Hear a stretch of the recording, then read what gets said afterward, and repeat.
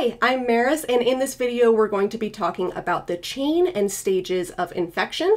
I will be following along using our Fundamentals of Nursing flashcards. Uh, if you would like to get a set for yourself, they are available on our website at leveluprn.com.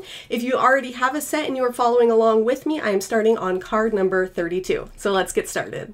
So first up, we are talking about the actual chain of infection, which describes how the pathogen gets from where it is to where it is going. So first we have the infectious agent. So what is it? Is it a virus? Is it a bacteria? Um, you know, that kind of thing describes what the pathogen itself is. Uh, so E. coli, for instance, very different than the flu, influenza A or B.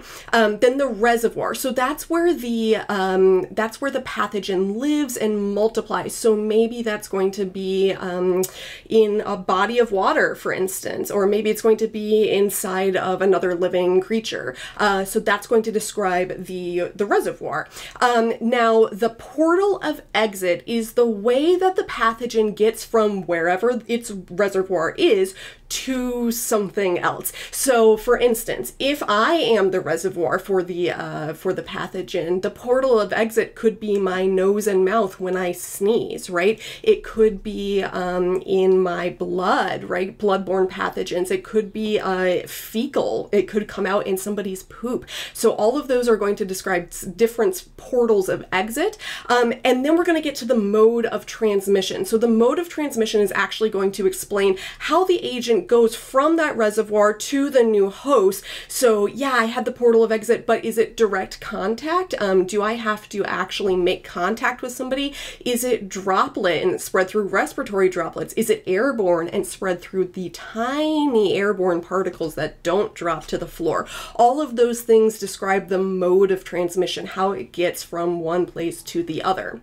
Then we have the portal of entry. How does it get into the new host, right? Is it going to be, if it's a droplet or an airborne disease, it might be through my nose and mouth. That could also be the portal of entry. Um, it could be by touching my eyes, right? Rubbing my eyes. That's why we try not to touch our faces. Um, so that's going to describe portal of entry. And then lastly, the host. The host must be susceptible. So not all hosts are susceptible. Some of them have either had the disease prior and they have antibodies against it, or maybe they have really strong immune defenses and are not susceptible compared to somebody with a weakened immune system, or maybe somebody who is older in age and has just a naturally weaker immune system. So that is the chain of infection. And then I want to show you here on card number uh, 33, we have a really nice drawing of the chain of infection and what all the components are. In my opinion, I think this is one of the best illustrations of the chain of infection, and it actually kind of makes more sense than what you find in the textbook. So definitely check that out in our deck.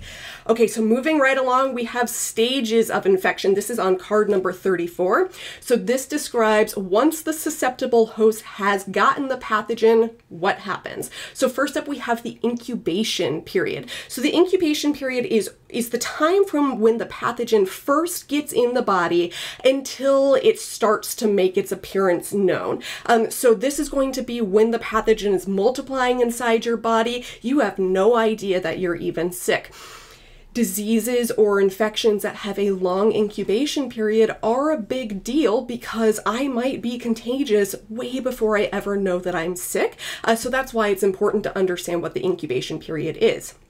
Now, the prodromal period. The prodrome is when I to have initial symptoms, but these symptoms are vague. They are not specific. This is when you wake up in the morning and you go, I don't really feel very well. You know, I can't tell you what's wrong. I'm just tired. I don't feel good. Um, I feel kind of fatigued and weak. That's the prodromal period.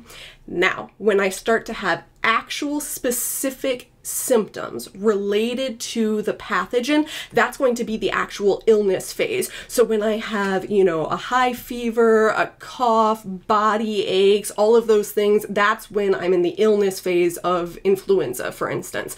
Um, it's going to be specific to the disease. So now if I have um, gastroenteritis, that's going to be upset stomach, cramps, nausea, vomiting, diarrhea, all of those would be in the illness phase. So it's specific to the pathogen.